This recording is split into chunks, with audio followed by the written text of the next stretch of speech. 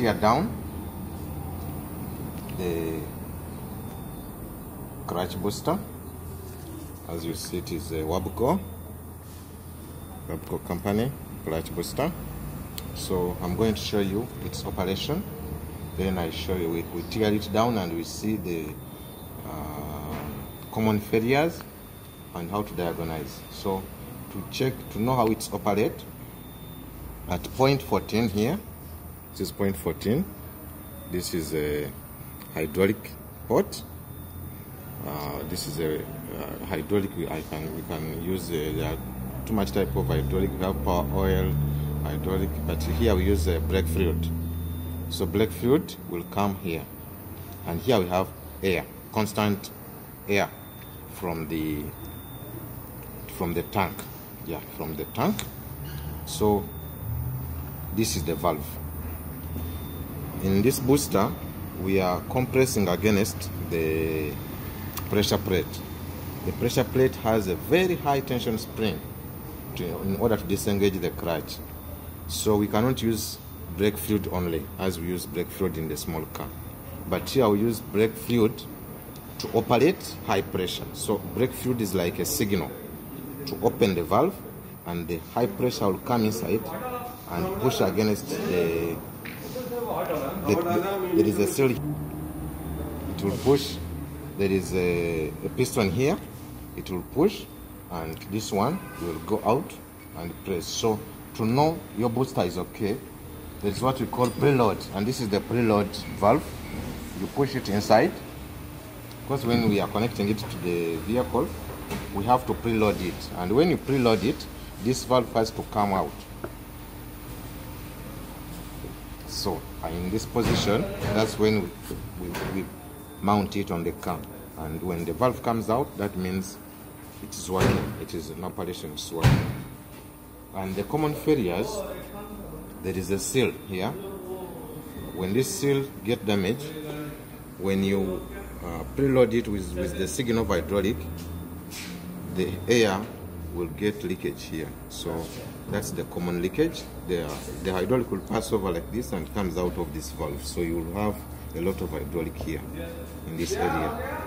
That shows that the hydraulic seal has failed.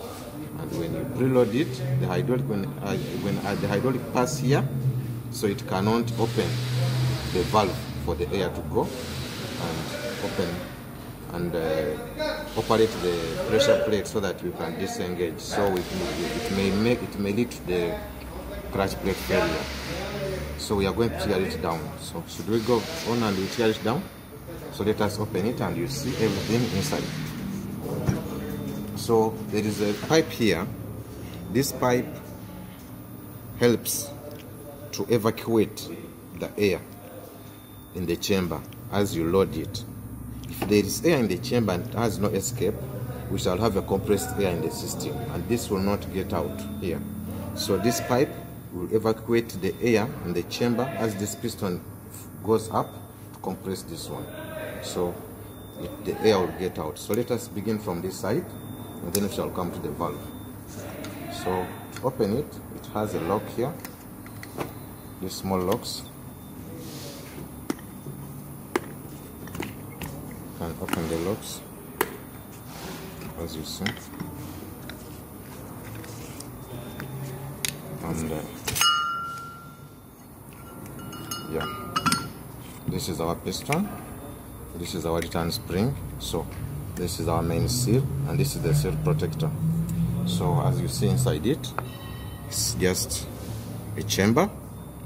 Ah, and uh, this one as you see it is the preload valve as you press it inside here it will come inside and as you load it on the car it will push it backside so meaning the, the booster is okay.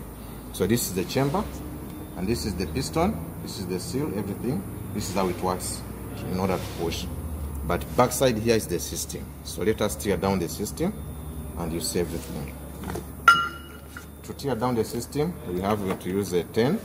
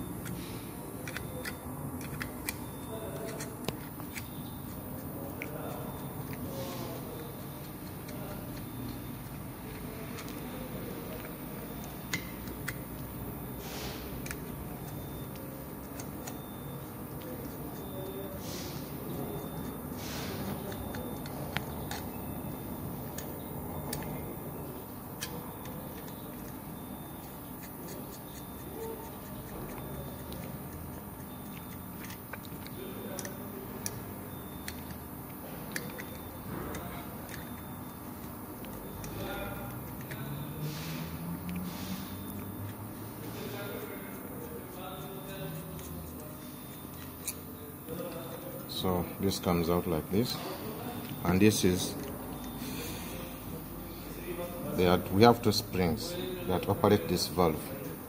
And they work against this one.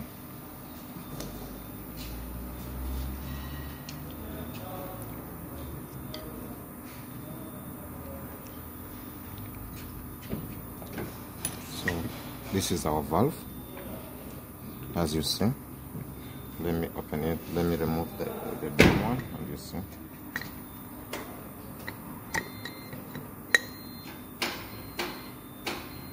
yeah. So this is our valve how the system work. Now hydraulic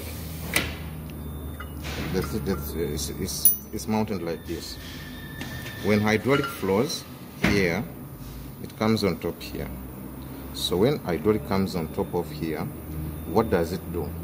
Remember this one is loaded is a preloaded with the spring as I can show you.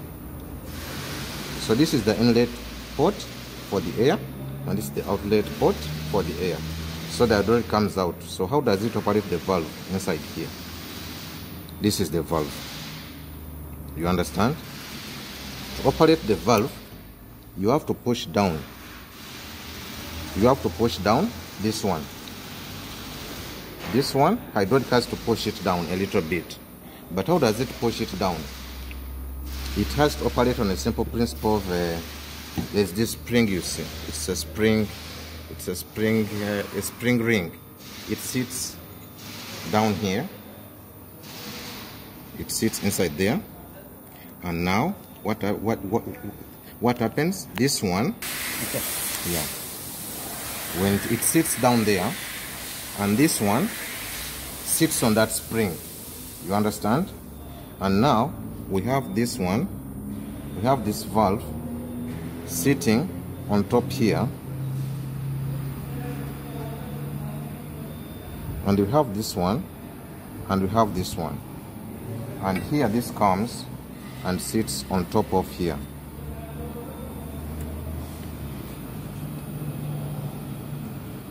so you understand like this.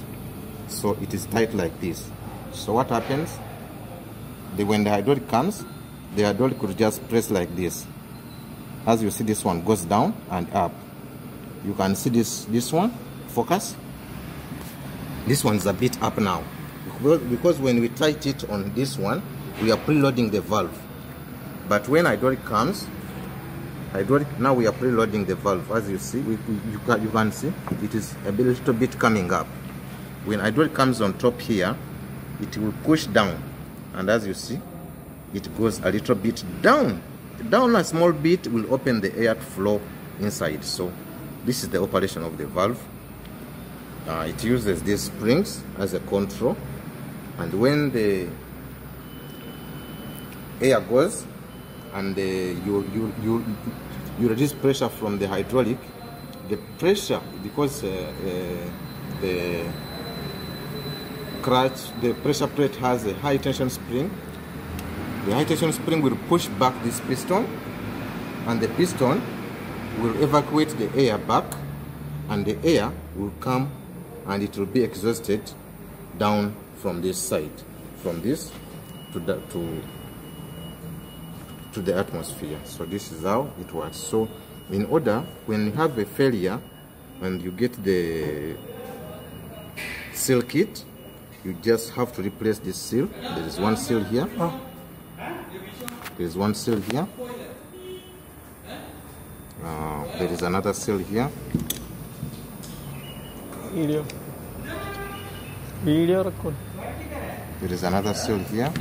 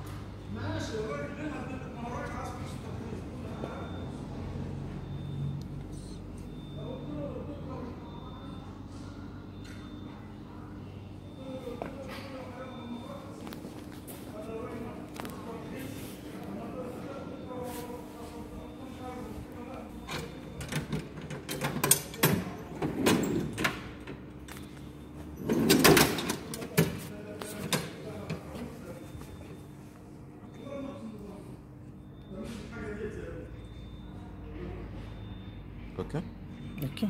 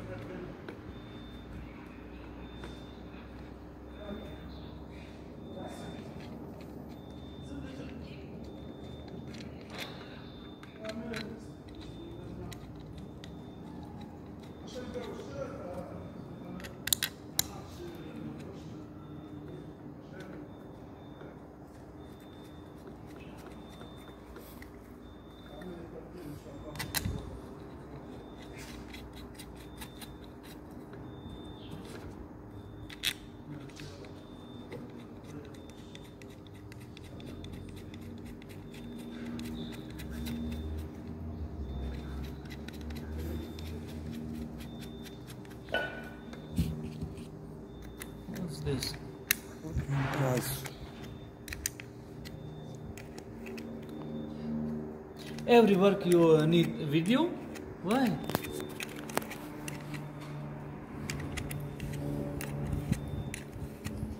The peak is great.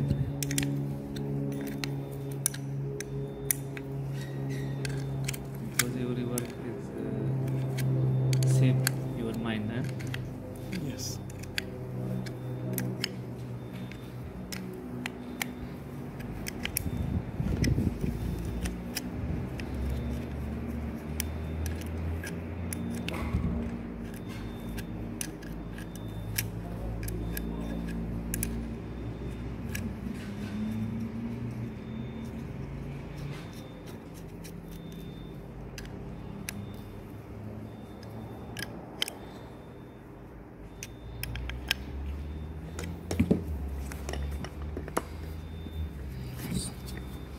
Reload.